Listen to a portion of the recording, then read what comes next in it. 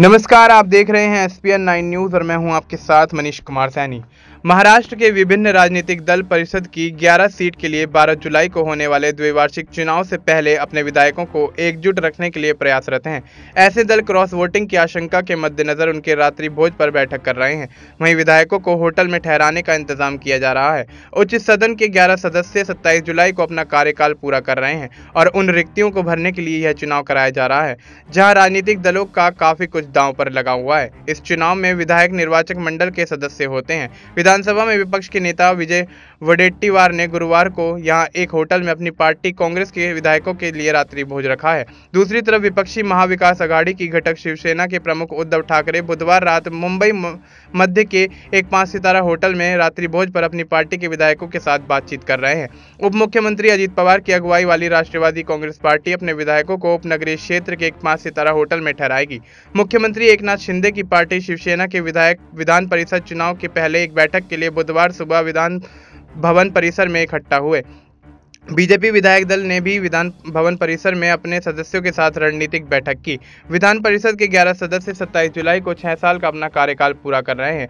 इनमें अविभाजित शिवसेना की मनीषा कायंदे और अनिल परब, कांग्रेस की पी सातव और वजाहत मिर्ज़ा, अविभाजित एनसीपी के अब्दुल्ला दुरानी, बीजेपी के विजय गिरकर, नीलन नाइक, रमेश पाटिल, रामराव पाटिल, राष्ट्रीय समाज पक्ष के महादेव जानकर और पीजेंट्स एंड वर्क पार्टी के जयंत पाटिल शामिल हैं। राज्य की दो सदस्यीय विधानसभा की परिषद के इस चुनाव के लिए निर्वाचक मंडल है।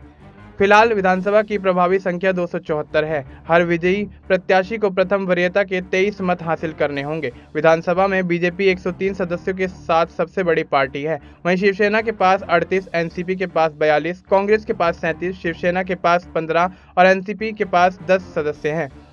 सदन में अन्य दलों में बहुजन विकास आघाड़ी के तीन समाजवादी पार्टी के दो एआईएमआईएम और प्रहार जनशक्ति पार्टी के दो दो मनसे, माकपा, स्वाभिमानी पक्ष, जनसुराज्य शक्ति पार्टी आरएसपी क्रांतिकारी शेतकारी पक्ष और पीडब्ल्यूपी के एक एक सदस्य हैं। इसके अलावा तेरह निर्दलीय विधायक भी हैं।